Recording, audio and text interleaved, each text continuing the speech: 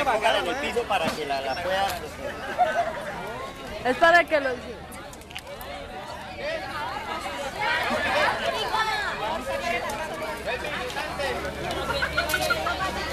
Corta el fierro desde el campesino.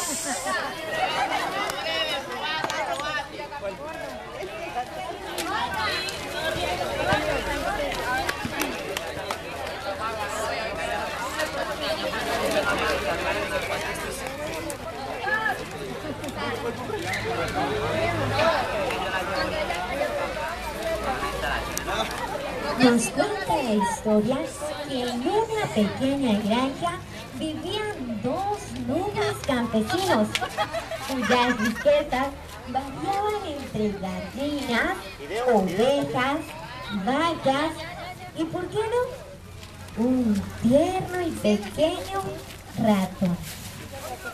Una la mañana salen al mercado Compadre, mira, está acá. ¿Cómo está, compadre? ¿Cómo está, compadre? Bueno, aquí vengo yo, mira que dejo el mercado. Bueno, gracias. Vuelven a casa y el ratoncito mira la bolsa muy juguetón.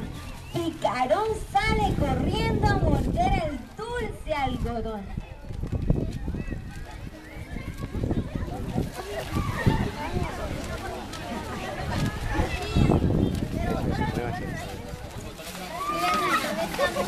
La señora va al mercado a organizar y cuando ve semejante atentado se comienza a erizar.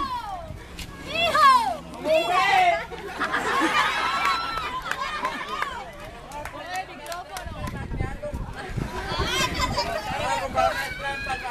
Micrófono. Mira, porque se lo está comiendo todo el mercado y nosotros no estamos muriendo de hambre, mira. Ay, pero ¿por qué quiere que me coma, mijo? ¿No quieres que me come?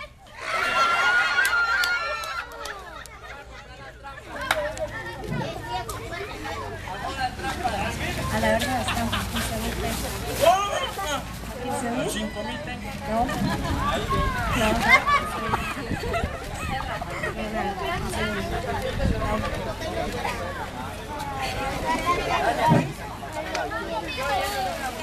Volviendo a la casa, el ratón ve la caja y el burri corriendo va chismosear.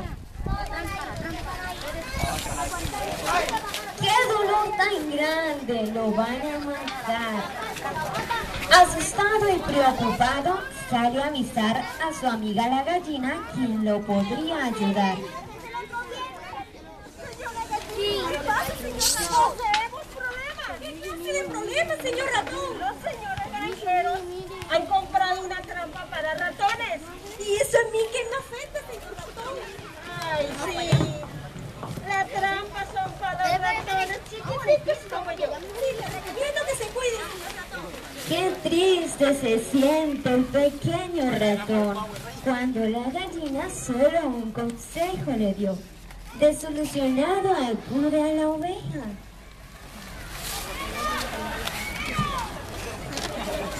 Señora oveja, señora oveja. Eh, ¿Qué te pasó, ratón? ¿Por qué, ratón? Los dueños de la granja han comprado una trampa para cazar ratones. Pero a mí nada me afecta, ratón. Cuídate, ratón. Te aconsejo que te cuides. Pero ella riéndose no atiende a la queja.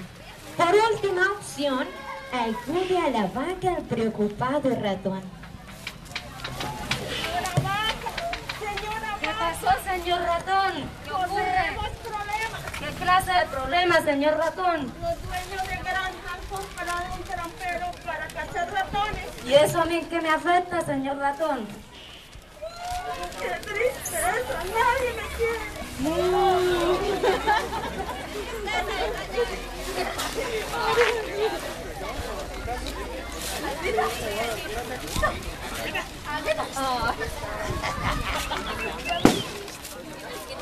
Cae la noche y es hora de descansar. Y preparada está la trampa para el ratón cazar. Cuando de pronto...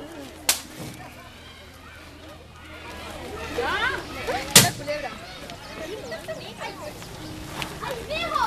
¡Fue para escapar ese que lo están metiendo los ratones! Va a buscar amigos. Ay, voy yo porque mi marido es más perezoso. ¿Cuál que usted? ¡Guárdala! ¡Ay, se aparta, mijo! ¡Sillo! ¿Qué le pasó?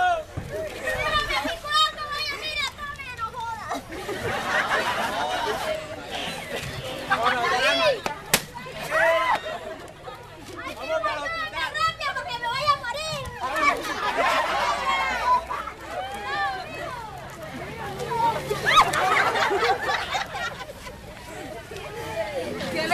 Doctora, me la picó una culera. No, Dios mío, Aunque no le hacen nada porque entre animales entienden. qué clase de serpiente fue. ¡Ay, ese mío quiere que yo me muera, ole!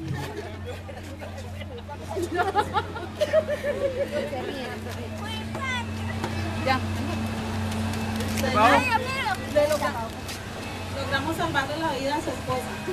Le recomiendo que por favor la cuide muy bien con calditos de gallina criolla. ¡Ay, Listo, Dios y mío, y mío, buen no me van a dejar morir allá!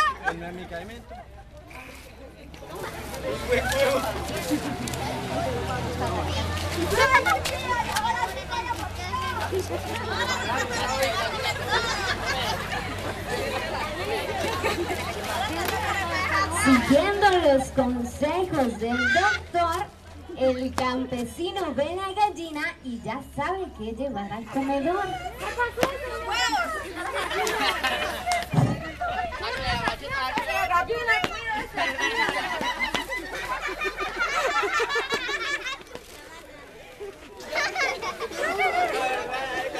Pasa la semana y llega el domingo y como nunca falta, de visita a los vecinos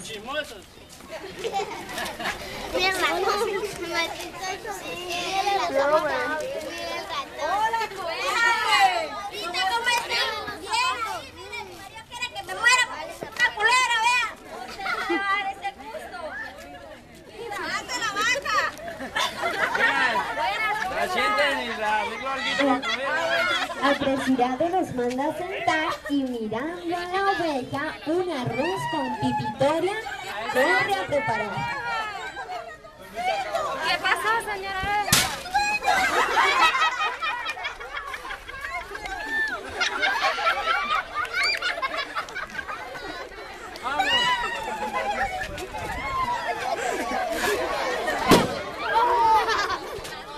Se acaba la algazara.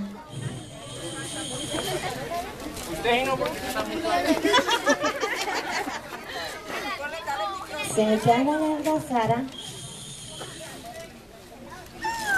Y llega el luto, pues la culebra cumplió con su tributo.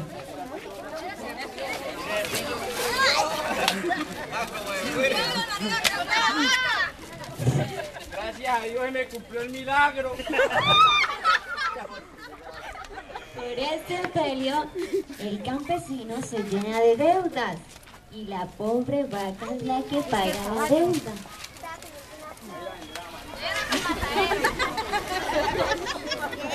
El micrófono, vaya niña con el micrófono.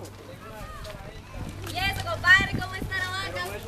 Cualquiera, es una vaca lechera que ha hecho condensada tolón tolón. ¿Por qué tú te vas a matar la vaca? Vamos a ver. caballo? ¡Ah, mugroso! ¡Vamos!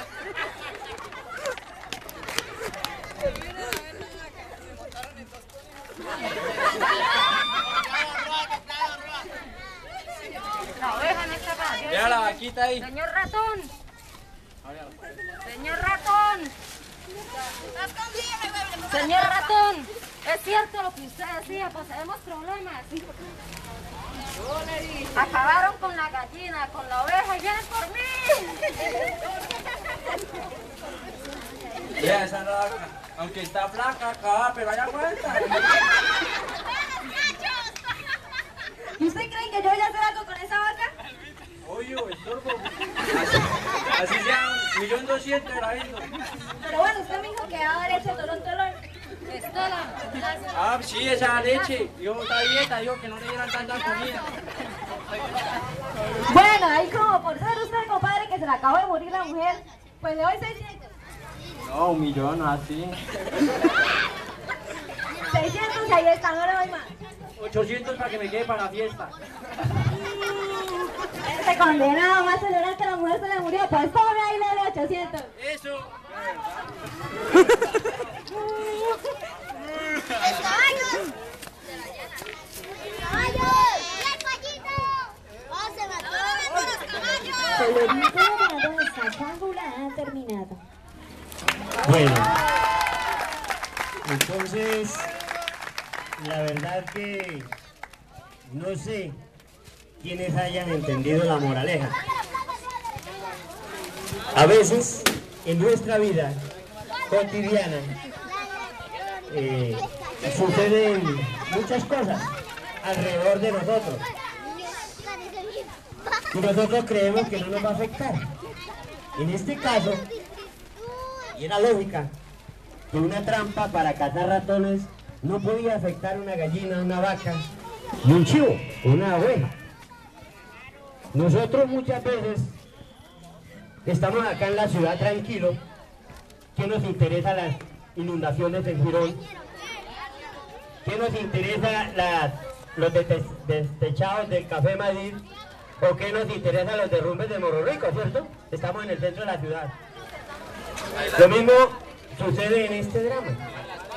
Era una trampa para cazar ratones, pero indirectamente la trampa causó la muerte a la gallina, causó la muerte a la oveja y causó la muerte a la vaca y a la señora.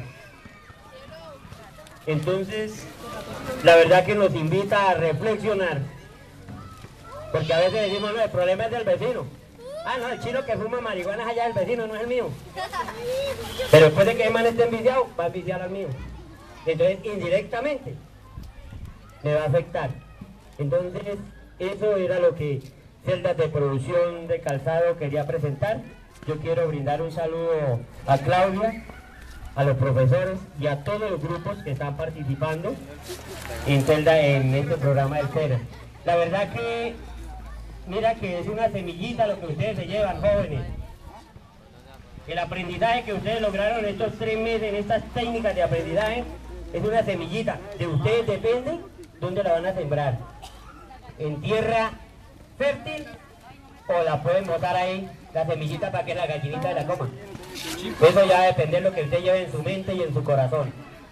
Simplemente Congregación Mariana y el SENA te brindaron ese, ese apoyo. Es, de pronto no sea la solución para su vida, pero sí es una herramienta más que ustedes toman en la mano. Pero yo estoy seguro que aquí en este programa, en las diferentes áreas, van a salir empresarios y van a salir operarios. Y son el futuro de lo que suceda industrialmente aquí en Santander o en el país. Entonces la verdad que eh, de pronto me tomé una botería que no me interesaba, no, no es mi tema, pero vuelvo y les repito muchachos, los quiero felicitar y yo quiero felicitar y quiero un aplauso para el grupo de Cacao.